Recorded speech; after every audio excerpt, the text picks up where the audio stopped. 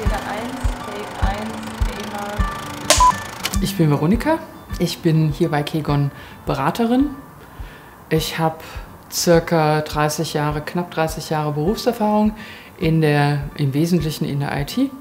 Ich habe so von Programmieren bis über Projektleitung bis zu Rechenzentrumsleitung unterschiedlichste Aufgaben gehabt. Und was für mich Agilität im Wesentlichen bedeutet, ist auf der einen Seite in kleinen Dingen zu liefern, iterativ, inkrementell, also wirklich in erst das Herzstück sozusagen zu liefern von Dingen und dann langsam Komplexität anzubauen und das immer wieder zur Verfügung zu stellen. Das ist im Wesentlichen der Erfolgsfaktor von Agilität, während Menschen zusammenarbeiten und selbst entscheiden können, wie sie diese Dinge bauen.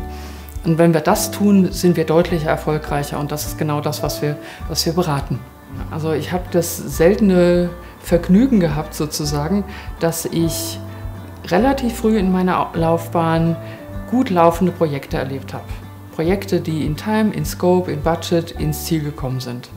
Und dort, was ich dort erlebt habe, habe ich viel später immer wieder versucht zu installieren in, in Projekten.